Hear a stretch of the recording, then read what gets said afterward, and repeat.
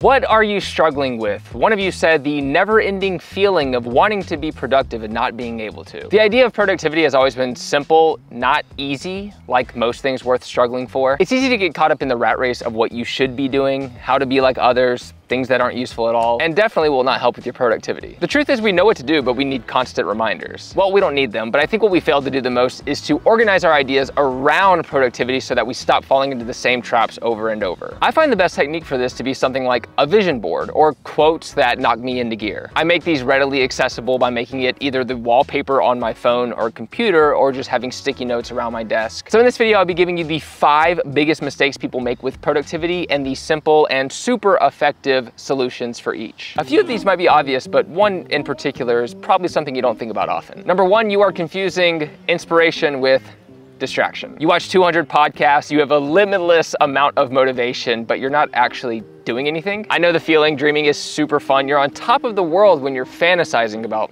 success. Alex Hormozi gives you a simple solution for a seven figure life and you're just sitting there thinking and thinking and listening. Multitasking is one of the problems we'll talk about later, but listening and executing are two completely different skill sets. What I would recommend for people who like to fantasize but have trouble executing is to do both at the same time. So write down your ideal future without listening to other things. Always aim for momentum. If you're currently being inspired, you're not actually executing. So start writing that script, doing that push-up, signing up for therapy, anything that will feel like you're moving significantly towards the ideal future. It's like Stephen King says, amateurs sit and wait for inspiration, the rest of us just get to work. The best solution I found for this is temporarily turning off all social media, including podcasts and audiobooks. Probably best just to leave your phone in the other room. I started using this app called Opal or Opal. It's $9 a month, which creates an incentive to actually use it, but it turns off apps on your phone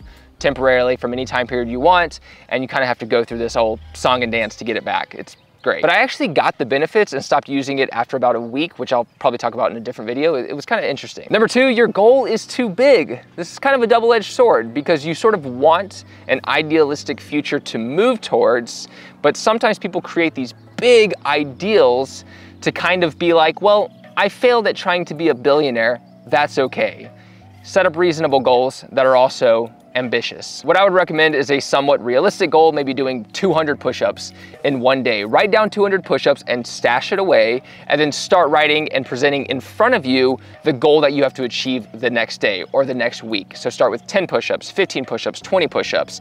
Keep the big goal out of the way, and then every day check up on these smaller goals that will eventually lead you to that big goal. You cannot underestimate the importance of creating a system where you're constantly progressing and winning. And also sometimes the big goals aren't very clear, like saving the planet or being rich and famous and hot. Rich can range from six figures to 10 figures. Popularity can be a thousand subscribers versus a million. You need actual numbers like the ones I just used, $100,000 in the bank account instead of being rich or 10 million, I don't know. A warning about making something like popularity and money your goal, a lot of the context of those two rely on luck. So I would write down the goals that could lead to those goals, like writing the book, starting the YouTube channel, these things that could potentially make you a lot of money. Make those the objectives so that they are actually executable. I make up words. It's like Martin Luther King says, you don't have to see the whole staircase, you just have to take the first step. Number three is multitasking. Steve Uzzell says multitasking is merely the opportunity to screw up more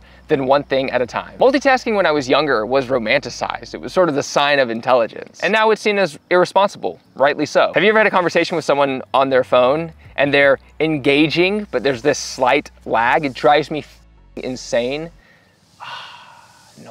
They're not really engaged on the phone call and they're definitely not engaged with you. It'll always be more effective doing one thing instead of three. I understand why we do this. We distract ourselves when we get bored, but unfortunately that seeps into the rest of our lives and then we start distracting ourselves in moments where we really don't need to. Turning off the noise, at least for me, can feel really strange. Sitting in a room alone is not something that my generation, I think, is used to, but that's where productivity starts. It's absolutely achievable and trainable through practice, and you'll probably learn to love silence more than having noise. Multitasking is just doing multiple tasks badly. Number four is perfectionism. I'm so glad in 2024 perfectionism has the bad rap that it does. There's usually two cases. One, it's just a lie. Someone says they have it, but really they just don't want to start. But the other case is somebody does have perfectionism and they build a mountain of information about the topic they want to explore without actually having explored it. If you want to learn how to bake a better cake, you bake lots of cakes.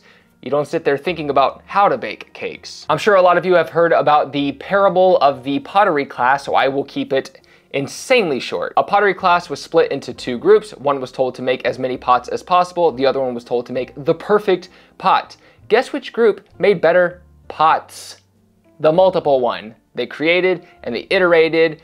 And unfortunately for the perfect pot, they just theorize. Experience will always outlast theory, and this is also good news out there for people who don't have a traditional education. If you're getting experience, you're learning faster. You don't need a university for education. Striving for perfectionism is a 20 ton shield that we lug around thinking it will protect us when in fact it's the thing that's really preventing us from being seen and taking flight.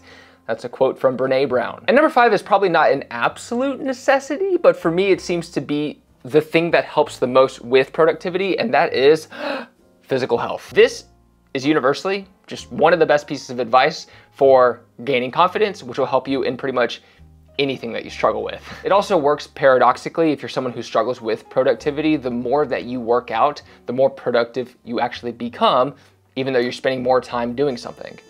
It's that momentum. This should start with at least walks throughout the day with myself. I actually award myself when I'm illustrating or writing, I finish a page, I go for a walk. By the way, I write children's books which speaking of, I just got a restock. We sold out, I think the first day in maybe an hour or so. So if you didn't get a chance to get the children's book, it's for all ages. It's technically a child's book, but I wrote it in a way where I think parents, adults, whatever, can enjoy the heck out of it. Plus, it's just got cute pictures and I think it's fun. I've been working out every day for 12 days and it has been the best momentum builder ever. As soon as I'm finished, I'm excited to win at something else. And lately it's been it's been videos. Videos are fun again. As Carol Welch says, movement is a medicine for creating change in a person's physical, emotional, and mental states. Once you're doing one thing right, you're gonna wanna be doing everything right. And fortunately, or unfortunately, this works the other way around. If your health slips or your productivity slips, it can be a snowball. But I don't want you to think that you are in this snowball effect. You should not judge yourself when you're having a couple of bad days or you're slipping. It's not about how many days in a row you think you're blowing it. It's always about just doing the right thing when you can. And ideally, that right thing just grows and grows and grows. Again, all this is a muscle, all this is a practice. The more you do, the more you do. No matter how stormy your week is, small wins compound. So right now, if you feel like you're in a drought, just do one small thing productive towards your ambitions, towards your goals.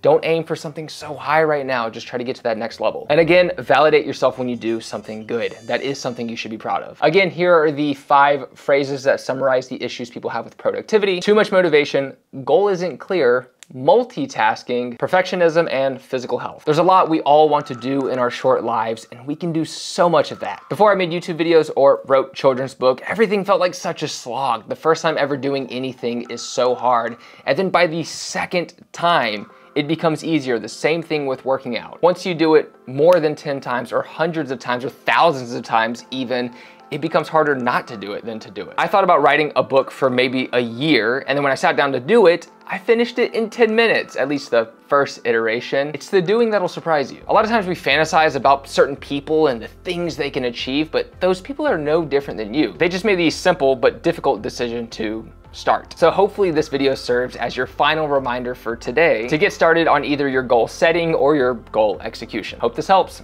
Take care, progress daily, and keep killing it.